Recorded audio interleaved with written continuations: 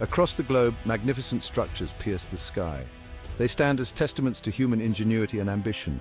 The pyramids of Giza, silent sentinels in the desert. The Taj Mahal, a pearl of perfection beside the Yamuna River.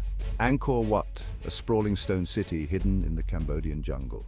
The Temple of Heaven, a celestial sanctuary in the heart of Beijing. These monuments captivate us with their beauty and scale. They inspire awe and wonder, drawing millions of visitors each year. Yet behind the grandeur lies a more complex story. For every stone laid in glory, there is a tale of struggle and sacrifice. Join me on a journey through time and across continents.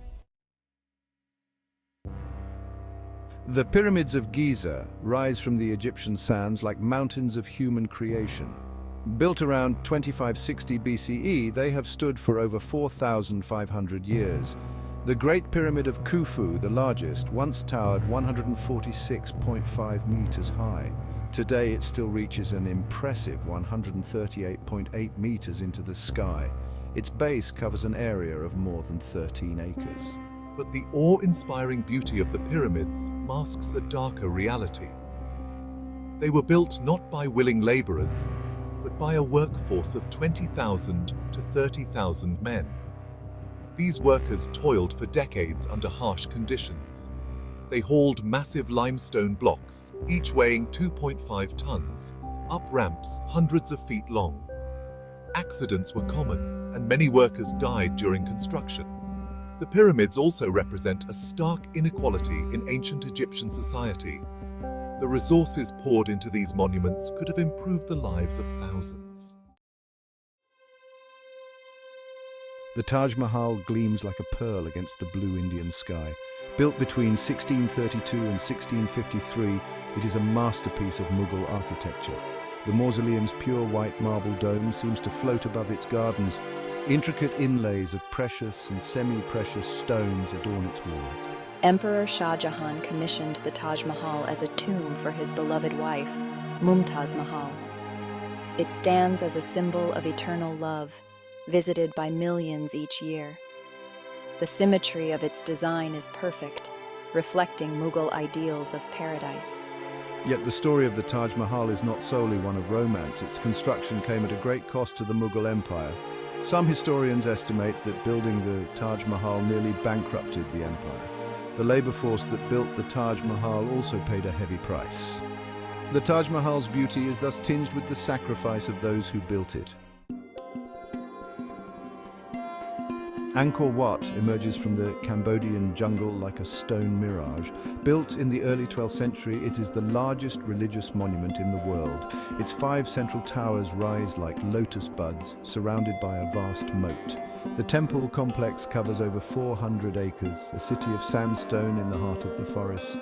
However, the grandeur of Angkor Wat came at a steep price for the Khmer Empire. The massive construction project strained the empire's resources, it required a vast workforce and an enormous amount of stone. Scholars estimate that 5 to 10 million sandstone blocks were used. The environmental impact of building Angkor Wat was significant. Large areas of forest were cleared for agriculture to support the workforce. The temple that was meant to glorify the empire may have played a role in its downfall. The Temple of Heaven stands as a masterpiece of Chinese architecture and cosmology. Built between 1406 and 1420, it covers an area of 273 hectares in Beijing. The complex was designed to facilitate annual ceremonies of prayer for good harvest. The most iconic building is the Hall of Prayer for Good Harvests. This triple-gabled circular building sits atop a three-tier marble terrace. It was built entirely of wood, without using a single nail. Yet the beauty of the Temple of Heaven masks a history of exclusion and inequality. For centuries it was off limits to ordinary citizens. Only the emperor and a select few could enter its sacred precincts. The construction and maintenance of the Temple of Heaven also placed a burden on the populace. While the emperor prayed for abundance, many of his subjects struggled with poverty and famine. Section 6, The Price of Grandeur, Labour and Lives. Behind every magnificent monument lies a story of human toil. The pyramids, the Taj Mahal, Angkor Wat and the Temple of Heaven all were built by the hands of thousands. In ancient Egypt, workers on the pyramids lived in nearby towns. Recent excavations have revealed their living conditions. While not slaves, these workers led hard lives. They suffered from arthritis and other ailments due to the back-breaking labour. Many died young, their bones showing signs of stress and injury. The Taj Mahal's construction involved artisans from across Asia and Europe, but it also required an army of labourers. These men and women worked long hours in the hot Indian sun.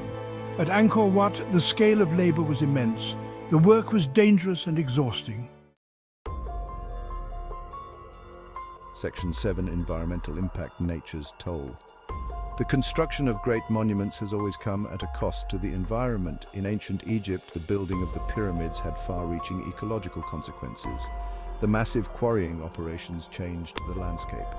Forests were cleared to make way for ramps and workers' settlements.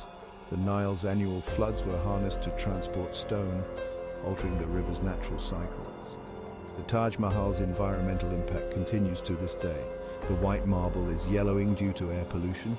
Nearby factories and vehicle emissions are corroding the stone. The Yamuna River, once a source of beauty, is now heavily polluted. Groundwater depletion in the area has caused the monument's wooden foundations to rot. Ironically, the very icon of eternal love faces a battle against environmental decay. Section 8. Social hierarchies, monuments to power. Monumental architecture has always been a tool of the powerful.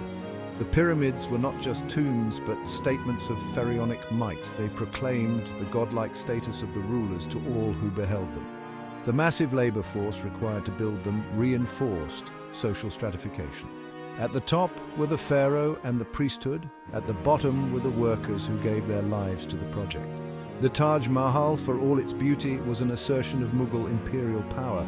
It showcased the empire's wealth and artistic sophistication, but it also highlighted the vast gulf between the ruling class and ordinary people. Angkor Wat served a similar function in the Khmer Empire. The Temple of Heaven in Beijing was the exclusive domain of the emperor. Section 9. Conclusion Embracing the Duality. As we stand before these magnificent monuments, we are filled with awe. The pyramids of Giza reaching for the sky, the Taj Mahal, a dream in marble, Angkor Wat, a stone tapestry in the jungle, the Temple of Heaven, a bridge between earth and sky. They represent the pinnacle of human achievement, yet we must also acknowledge the darker aspects of their creation the toil of countless labourers, many of whom died in the process, the environmental impact that continues to this day, the reinforcement of social hierarchies and unequal power structures. By embracing this duality, we gain a richer appreciation of our shared human heritage.